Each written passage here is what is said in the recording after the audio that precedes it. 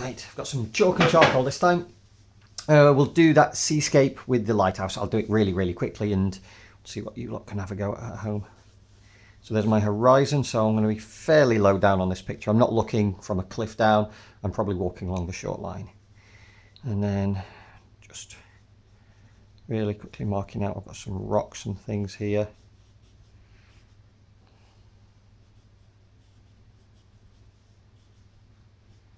And then I'm going to allow the shoreline to come in a bit. Like so. That's a little bit too much there. It's a bit too repetitive. I'll change that in a little bit. Bring that into there. That'll do.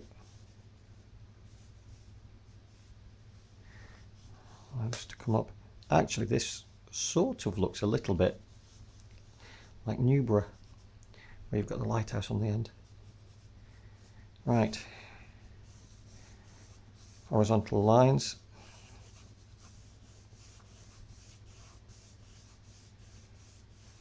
but leaving the little flecks of light in there.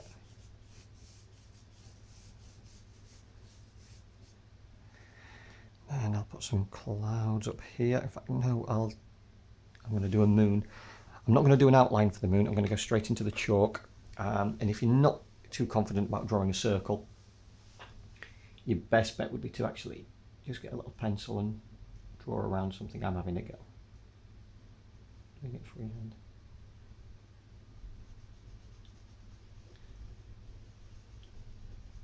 And then once you've got the, the source of light, you need it to radiate out.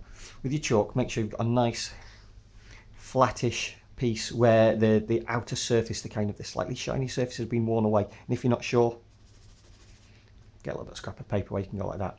What you're going to do is you're just going to get that dust on the paper.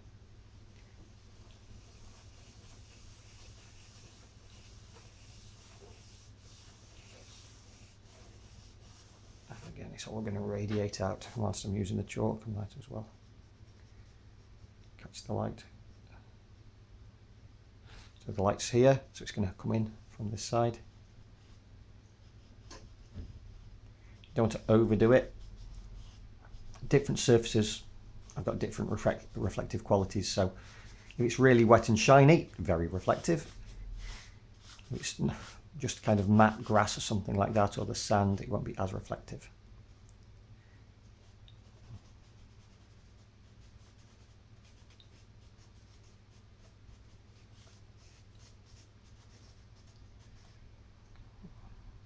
And I'm trying to get some sharp lines. These aren't quite right, so use the sharpest edges that you can. There we go, it's looking a bit better. Just to catch that light in the water.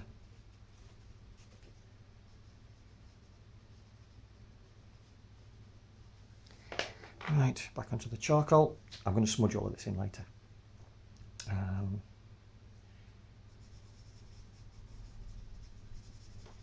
when I'm working with chalk and charcoal, the thing I keep telling the children is it's not done in one single go. You're going to keep building up these layers again and again. So even if you lose some of the lines that you start with, it really doesn't matter because you've got a chance to just go over them at a later date.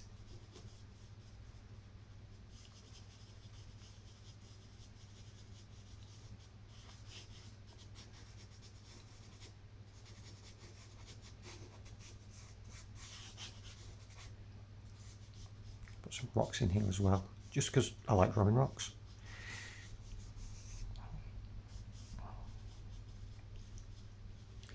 And I'm going to have a sharper contrast in the foreground than I do in the distance because obviously your light can pick up the, distant, uh, the, the differences in the light quality far better at a closer distance.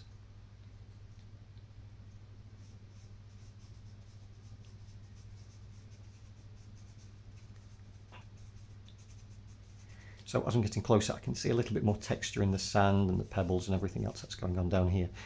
Further away, you wouldn't see any of that. Your eye couldn't pick up that amount of detail. And I'll draw, shall I draw a lighthouse? Yeah, I'll draw a lighthouse.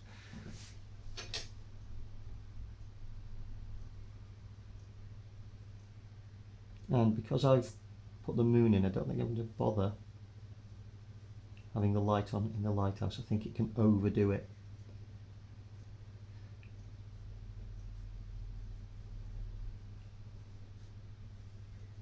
To the lighthouses.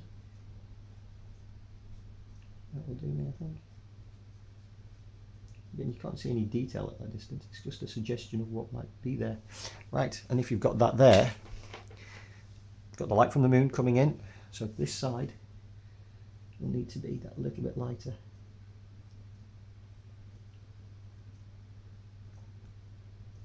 Bring that in. And a dash of light. The light here. Yeah, could be a little bit tidy, but it'll do for now. And then I'm going to put in just a few clouds using the side and kind of a jerky motion. I don't want it too neat, too tidy. And allow it to go over the moon. It doesn't need to be kept away from the moon. Because if you think about it, the clouds are so, so much lower than the moon in the sky. The moon's in space, so you can have things floating in front of it.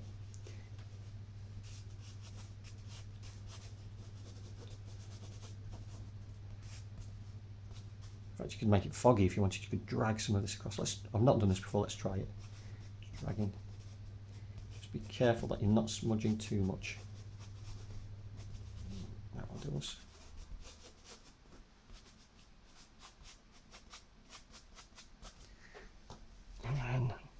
To my charcoal.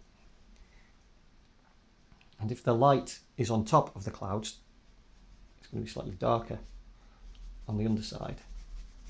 So follow your cloud patterns. I don't like that piece of charcoal. Let's swap it over.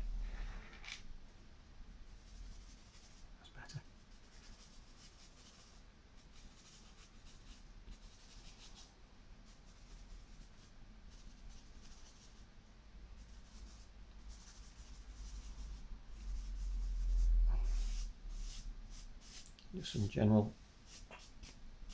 charcoal for the, the overall sky. I'll be building up some of these layers again.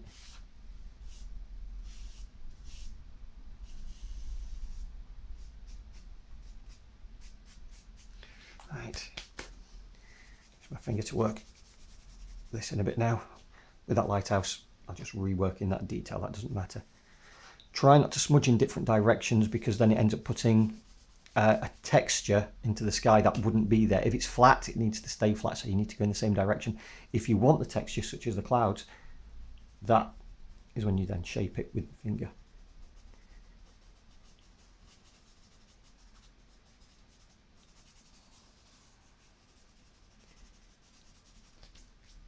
I'm going to radiate that light out as best I can. And again, it might take more than one go. And the light does come out in a circle, so I've got to keep that shape in there. I've lost a lot of that light now, so I'm going to build it back up again. And sometimes you get like a flare of light, so you can even add just a few lines from the centre. Like so, not too much.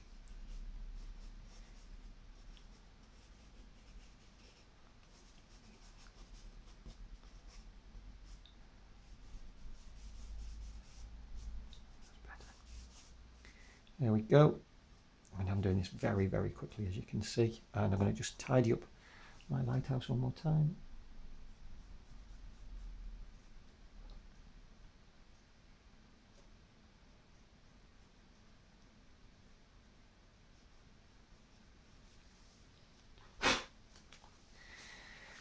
There you go, really simple nighttime scene with a lighthouse.